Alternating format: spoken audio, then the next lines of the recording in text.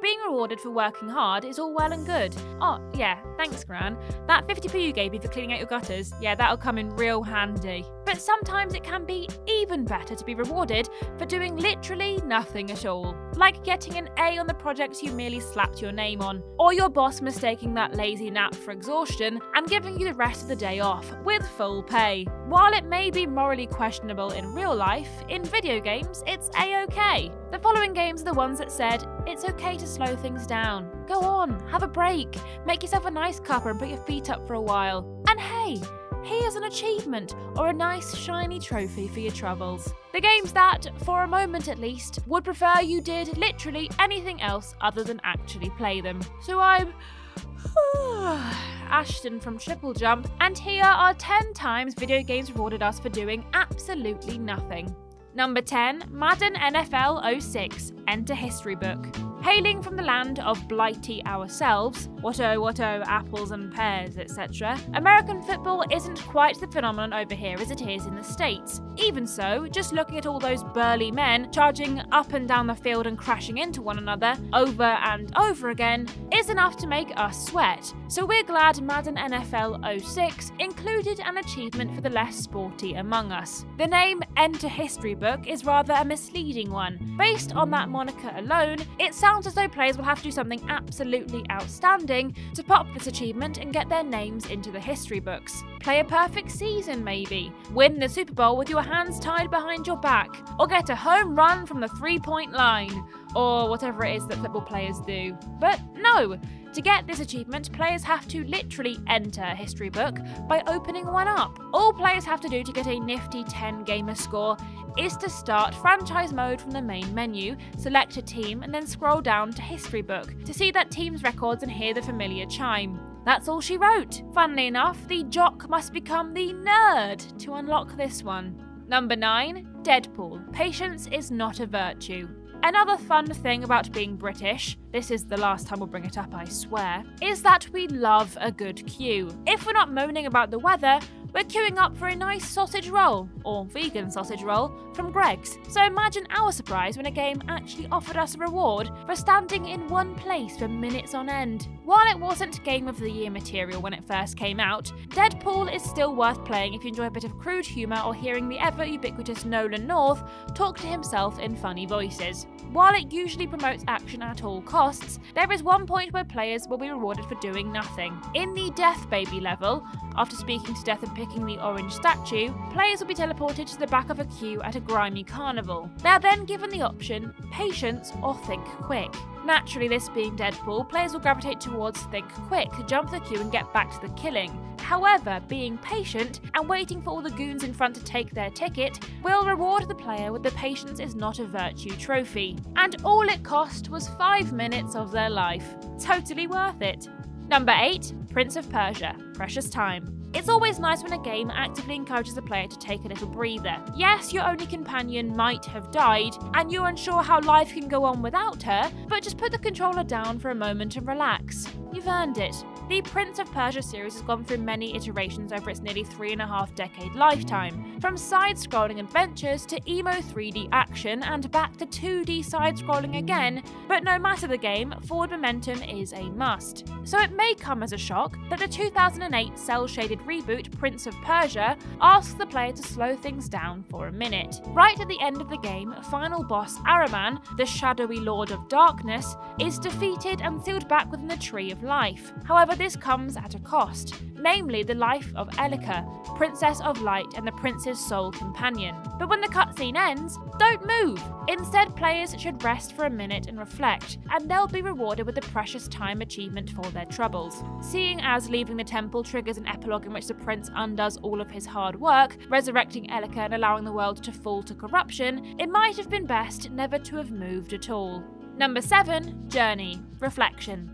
Many people play video games to relax after a long day of school or work, but I, for one, have never found being yelled at by teenagers on Call of Duty all that relaxing. I'm sorry I'm not a better shot. I'm an adult now. My fingers aren't as dexterous as they once were. So it's great to see a game advocate true relaxation in the form of meditation. Thatgamecompany's journey has its moments of peril and its moments of excitement, but above all, it is a beautiful, reflective, and abstract experience, playing as much the player's emotions as delighting them with the wondrous visuals and music.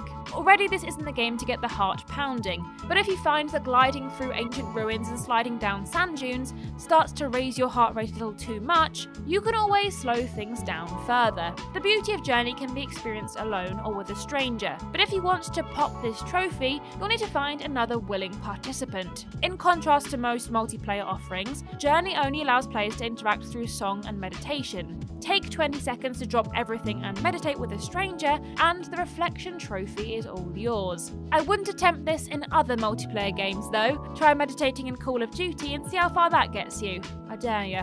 Number 6 The Darkness Romantic. The life of a hitman for the mob isn't all gunfights and garrottings. Sometimes it's about taking time out of your busy schedule to curl up on the couch with your girlfriend to watch a good film together. The Darkness is, wouldn't you guess it, a dark game. After protagonist Jackie Estacado is targeted for assassination by a mafia don, a strange power wakes up inside him. The power to tear foes apart and eat their hearts with two hungry tentacle arms. From there, the game hardly ever slows down taking the player from one shooting gallery of goons to the next. However, there is one chapter that allows them to breathe a quiet night in watching a film on the sofa with Jackie's girlfriend Jenny.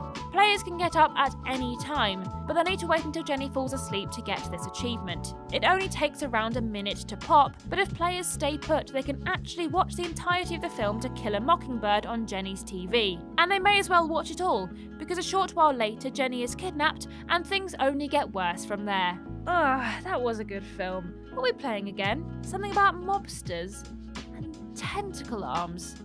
Number 5 Uncharted A Thief's End Stage Fright. If people aren't going to forget your mistakes, you may as well own them. That's precisely what developers Naughty Dog did after a little mishap on stage during E3 2015. When they launched into their gameplay demo for the upcoming Uncharted 4, the initial applause gave way to quiet laughter as technical problems left a big action hero Nathan Drake just standing around like a lemon. A quick restart solved the problem, and old Nate overcame his nerves and was able to throw himself into the chaotic action the series is known for. But while the demo was one heck of a showstopper and the perfect way to close Sony's showcase, fans wouldn't forget this technical malfunction anytime soon. So it tickled fans' funny bones the world over when Uncharted 4 included a little nod to the misstep. If players reach the exact same spot in the game, watch the cutscene and refuse to move afterwards for 30 seconds or so, the trophy Stage Fright will pop as a reward. It's not often you see developers making light of their mistakes like this, and it's nice to know that Naughty Dog has a sense of humour about these things.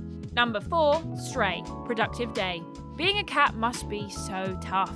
Roaming the streets to your heart's content, no responsibilities, and an owner who feeds you and takes care of your every whim. Sounds exhausting. No wonder cats sleep all the time. If you've ever wondered what it would be like to be a cat for a day, Stray is the game for you. Taking control of a stray cat as they explore the post apocalyptic cyberpunk city overrun with charming robots and considerably less charming Zurks, players are let loose to explore every nook and cranny. And they can do so in the most cat like way imaginable, effortlessly leaping over gaps and onto precarious ledges with all the grace of well, a cat. But if all that leaping about and knocking cups off tables starts to wear them out, players can always opt to curl up somewhere warm and take a nap. Sleeping has no real benefit other than to provide a relaxing break, but if the player chooses to sleep for one hour, they will unlock the Productive Day achievement. The bedding beside Morusque is our pick for the best spot, as while you sleep, he'll play the music he's learned. Ugh, don't mind me. All this sleeping has made me tired. Just let me have a five minute cat nap. Number 3 Xenoblade Chronicles Some Help You Are.